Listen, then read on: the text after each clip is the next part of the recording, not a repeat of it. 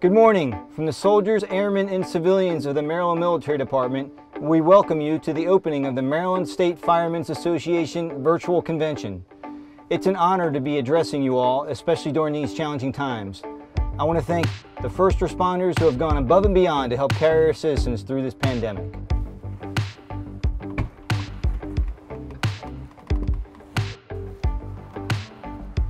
Thank you, President Walker, for your leadership. I congratulate you on the association's 129th anniversary and on the accomplishments and commitment. The Maryland Military Department has been pleased to partner with the association to administer the Amoss Fund and the Volunteer Company Assistance Fund over the years. Soon our relationship will change.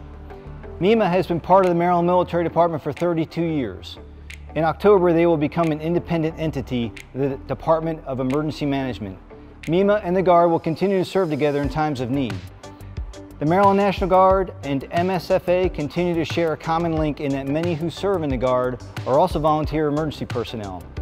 The Maryland National Guard has many firefighters in our ranks and I'm pr proud to be joined by two of them today. I'm Lieutenant Colonel Dan Collins, a firefighter EMT from the Winfield Community Volunteer Fire Department. And I'm Specialist Alton Boulware, a firefighter from the Owings Mills Volunteer Fire Department. We are proud to serve our nation, state, and communities as volunteer first responders. We bring the discipline, skill, and experience that we have developed through our military training to our communities through our service as first responders. And in return, our volunteer services increases our value to the Maryland National Guard, especially in times of emergency.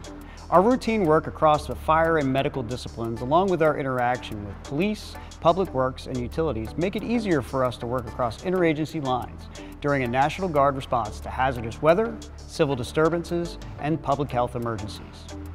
I'm proud to serve with these impressive first responders. Thank you, Lieutenant Colonel Collins and Specialist Boulware. They and many others have been crucial to the fight against COVID-19 and in protecting our democracy.